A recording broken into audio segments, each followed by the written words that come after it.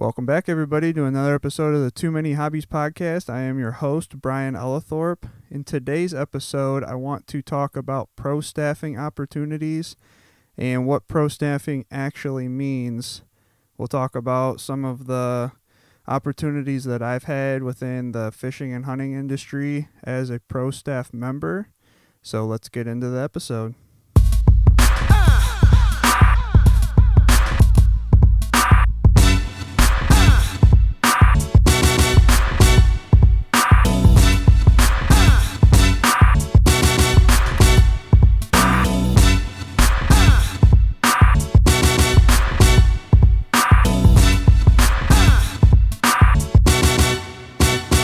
All right, guys, thank you for tuning in to another episode of the Too Many Hobbies podcast. I appreciate all the support. Be sure to check out the YouTube channel, Too Many Hobbies, and check out Brian Ellithorpe Media on Instagram, Too Many Hobbies Show on TikTok and Instagram. I've been posting a lot of stuff to all of those, so be sure to go there and find some of that content. So, today's episode, I wanted to get into a little bit of what it actually means to be a pro staff member when you sign on with a company, and just a little bit of the background of what I've done as far as pro staffing and field staffing for companies, how I feel it's a little bit different for me than a normal person that gets the, gets an offer. But so let's jump into that. So, as a pro staff member, I think it's important to remember that you're not professional staff. It is a promotional staff position. So when a company brings you on, they offer you something in return for free advertisement. So whether it's a discount or it's product, they're offering something to you in some sort of payment for you to be posting and tagging and wearing their equipment, apparel, whatever the case may be. And I think that a lot of people get that a little confused when they start looking at the opportunities that a company is going to offer them as far as being a pro staff or a field staff member of their company. So there's a lot of companies that you know, as they're just starting out, they will offer either the field staff or pro staff position. And the difference between the two is that a field staff member is normally signed on as like a base position, I guess you could call it. So if they offer two different types of discounts as a field staff member, you'll get the lower of the two discounts where then you have to work your way up to being a pro staff member and that's that's based on what content you're posting what you're doing to promote the brand that has either given you a discount or product in order to promote their company. So as a field staff member you're basically coming in and you know, most of the field staff and pro staff positions, if they're offering you a discount, you have to purchase the product, but it's at a anywhere from a 10 to 40% discount. It just depends on the company, how big the company is. You know, if they can handle giving you a 30% discount on their products, then it's normally a bigger company will do something like that. Then you're purchasing the product from them, and a smaller company is going to offer these field staff positions to people, basically assuming that the person that takes the position is uh you know very excited about just being part of a company and they're willing to buy whatever you have on your website. So if somebody offers you know Joe a position to for a apparel company. And they offer him 10% or 15% discount, he's probably really excited to put that in his in his bio on his profile that he's part of that company and he'll purchase the products. And as a smaller company, it's basically a guaranteed product that they're going to sell. As long as they bring that person on and tell them you have to post X amount of times to receive the discount and all that stuff. And for a lot of people, it's a really cool thing. I know when I first started getting into like the I guess you could call it the business side of you know hunting and fishing the first company that I worked with was called 9812 Outdoors, and it was a small company out of Texas. And basically, what they did is you signed on as a field staff member, and then you purchased what they called a field staff package. And so it was like three t shirts and something else, and it was only like $30, where the t shirts on their website were 20 I think, a piece. So it was a good good discount but it's for a company that I had never heard of and was very very unknown in the industry. But for me, when I first was starting out, I thought it was pretty cool that I had this equipment or these, you know, this apparel from a company in the industry.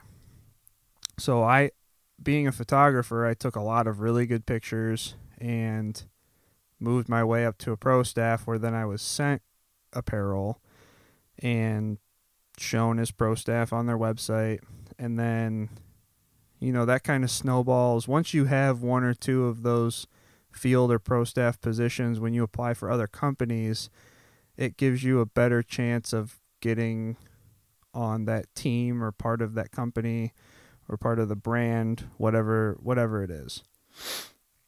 And i think the second company that i started working with which was actually a bigger company was hero outdoors. And there might be some people that are listening who are going to laugh because they were also part of it and they know what happened with that company.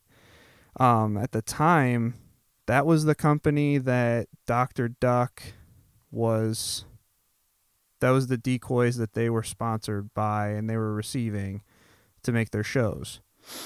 And I think there was another there was a show on Sportsman's Channel, Honey Break Outdoors, I believe, was also using their decoys, and I liked their decoys. They had some really cool positions on their mallards, and I created some GoPro and uh, other, uh, you know, regular DSLR camera videos, and they posted a few of those, and I that company ended up going down the down the shitter when they started doing goose decoys. A bunch of people ordered them, and then they just never got. I don't know if it was like something to do with the shipping or what happened with it, but a bunch of people didn't get their decoys, and the company ended up filing bankruptcy.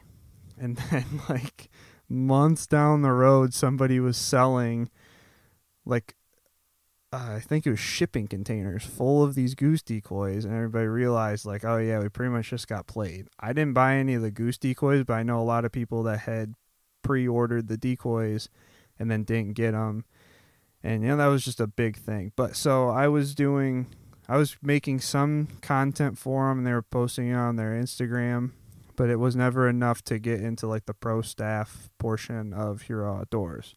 But it was the same thing where if you we're field staff. I think we got like 20% or something like that off. And so I had like a couple shirts, hats, stuff like that. And it's just free promotion for them when you're posting pictures on Instagram and stuff like that.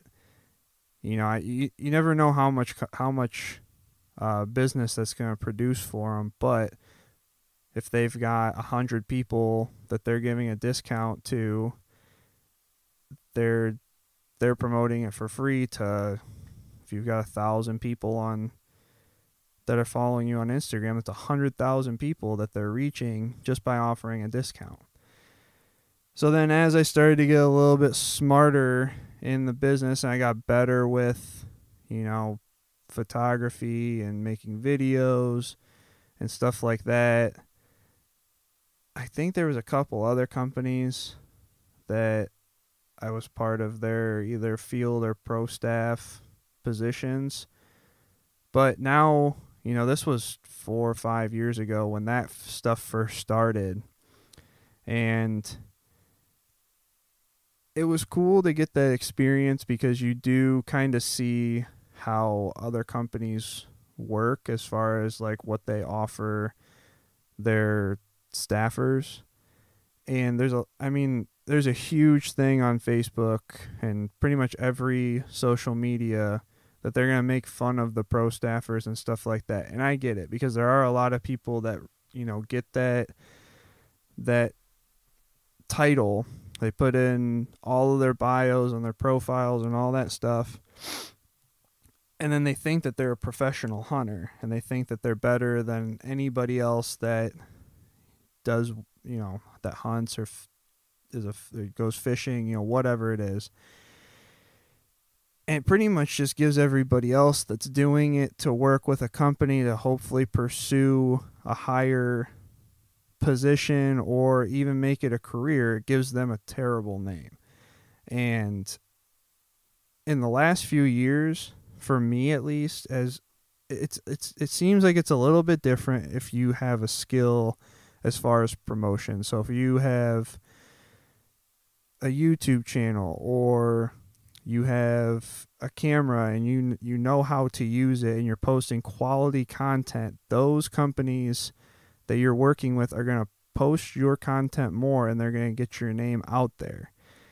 And if you can find companies that take value in quality content and are willing to help you by promoting you as you're promoting them and aren't requiring you to purchase their products or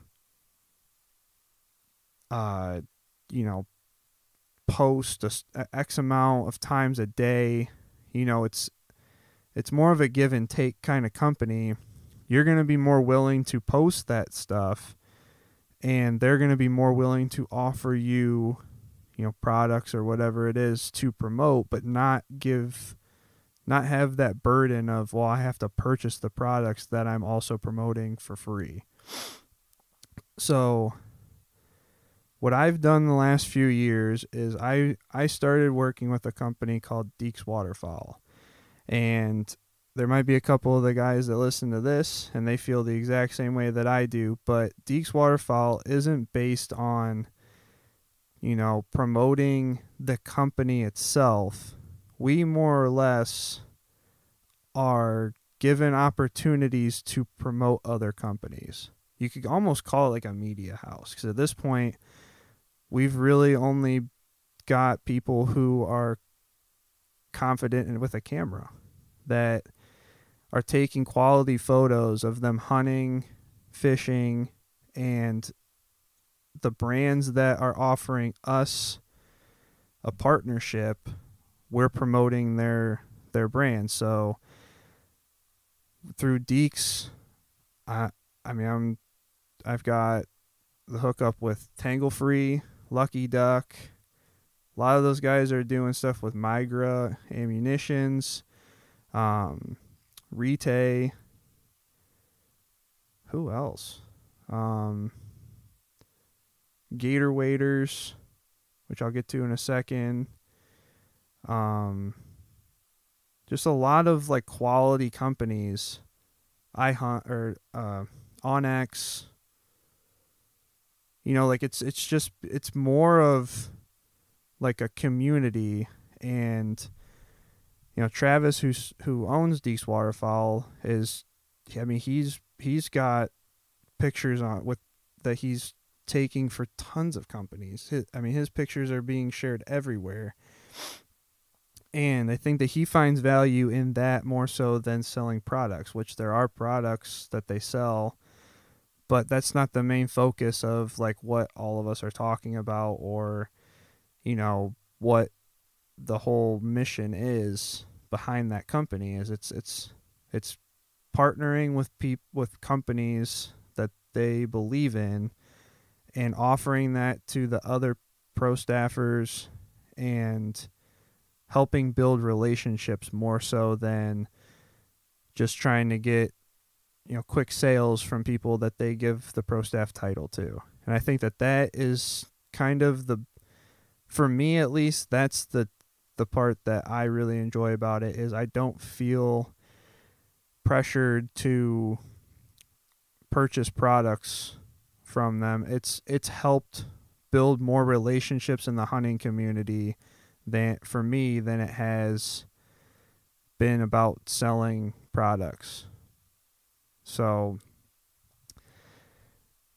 I can't say enough good things about Travis and Dekes Waterfowl and the guys that I've, you know, met through the internet with that company and helped get, you know, build relationships with other companies that are helping me. You know, it's just been such a such a positive experience, and I think that that's something that people who are against pro staffing don't see that side of it. They see the you know, people only wearing the same t-shirt every time that they go fishing and you know, saying that, you know, X company is the only fishing apparel company that you should wear.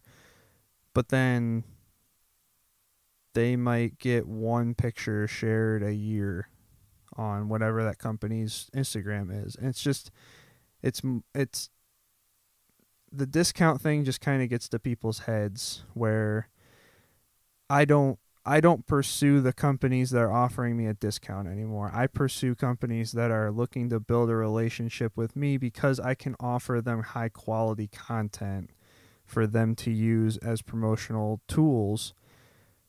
But I'm not forced to purchase the products that they want me to use as you know the centerpiece of my content creation. It's companies that are sending me products or giving me products in return for me giving them quality content. So I like that aspect of it a lot more. And the companies that I'm currently still with, that's the main focus is that I'm getting I'm not in it for free products, but the free products do make it easier for me to create content because I don't feel pressured to also purchase the products and feel like I'm not really getting anything out of it. It's more of a, you know, these companies that I'm making them that I have relationships with now, it's definitely a give and take. And I feel like both sides are happy at the end of the day because for them sending sending me or giving me, you know, a couple hundred dollars worth of stuff, if I was to charge them by the hour to take photos, I mean, that's only a couple hours worth of me taking photos. Where if they're sending me pictures or sending me products and saying, when I'm hunting or fishing, snap some pictures for them to use, I'm way more adamant on doing that and not being sucked into like a, a monetary contract with them. So the the other the companies that I'm working with currently are also Real Geese Decoys. And if anybody doesn't know what they are, it is a silhouette decoy company out of Northwest Ohio, where I am. They're only about 40 minutes away from me. But Craig and I have worked on a few things where they've used a few of my pictures for ads on Facebook. Um, we'll probably be creating some some videos with their new line of silhouette decoys that are coming out, and you know, in that exchange, it was I got decoys, they get content. And there was no money exchanged. And now when I go goose hunting, I take pictures of their decoys out in the field and I send them over to them and they can either choose to use them or choose not to use them. It's up to them. If they find something that's worth that has the quality that they're looking for that they can use to post on, you know, Instagram or Facebook, they seem to use Instagram and Facebook the most. I don't think that they have Twitter or anything like that. But that was another good relationship that I built with Real Geese Decoys and hopefully for the next few years we can keep you know keep that relationship thriving. And then the newest one with through Dekes Waterfowl and a couple of the guys that are there also doing the same thing that I'm doing is Gator Waders offered us, you know, an ambassadorship for their company to also provide content to them so that they can use it. Right now it's for fishing. So Gator Waders Fish, we've been doing some some products, some product shoots for them. Um, we're doing them independently just because we're not located in the same portion of the country, but we all talk to each other back and forth about it. And so what what we were able to do is the CEO or VP, VP, David's the VP, um, reached out to us and offered to send us products so that we would use those to um, we would use them while we're out fishing and then take pictures so that they would have content to post on their Instagram of these products that they came out with. So it was, you know, wader or uh, bibs and some fishing shirts. And so when I go fishing, I'll wear one of those pieces that they sent me and snap photos or I'll give give them to my friends to wear so I can snap some photos of them wearing them while they're fishing.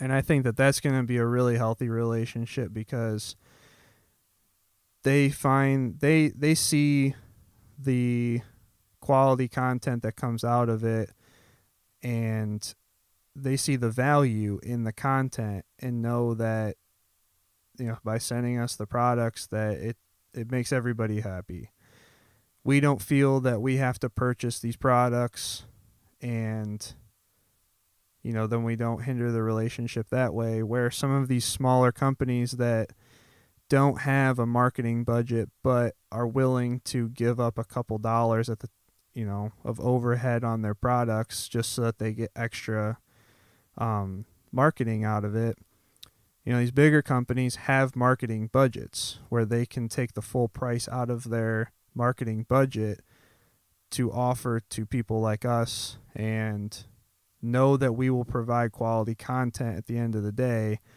and you know then everybody's happy. I think that that's going to be a great relationship. They've already been sharing a lot of the stuff that me and the guys have been sending them that's been really cool to work with them. Um, i think it would be awesome to have somebody from Gator Waders on the podcast one of these days and you know just talk about what they do there because they have three different lines of waders um, and you know three three different lines of outdoor space that they're in. So they're in hunting fishing and off-road. And i think that there's a lot of um, topics that can be covered there. I think that that's i think it's a great company. It's been awesome working with them. As far as fishing goes Gator Waders is really the only one that I've been working with still. I was um, involved with SixGill Fishing, but that's just a it's a big company, but it's hard to see what their end game is as far as having pro staffers because we do we are offered discounts for that and the products that I've purchased from them have been amazing that the the rods and reels that I've purchased from I have no complaints with. Um, but a lot of the content that I've tagged them in or tried to provide to them hasn't been shared. So I, I don't know what they're looking for as far as that goes. But I mean, I've, I've worked with a lot of these different sta- field and pro staff positions. Um, I think that that kind of gives a a really good background on like the truth of pro staffing, at least from my perspective. Um, you know, as a photographer, videographer, you also feel that these companies that you're going to work with that you can provide them some really high quality content as far as or instead of using your cell phone take pictures which isn't terrible but it's just not the same as having high end equipment to um, deliver qual or deliver content with. So I hope you guys enjoyed that kind of podcast. I mean, I, I thought that this was a good episode, kind of outlining pro staffing and maybe give some insight to people who are either looking to do some sort of pro staffing or field staffing for companies or have done it and had a bad experience. Maybe you're listening to this saying, well, maybe I just got to find the right company, or maybe it's not for you at all and you just had a different view on it based on stuff that you'd seen online. But thank you guys for tuning in. Be sure to check out the YouTube channel, Too Many Hobbies. Uh, check out Instagram, Brian Ellithorpe Media, Too Many Hobbies Show.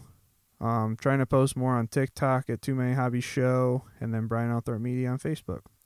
Thanks for tuning in, guys. We'll catch you on the next episode.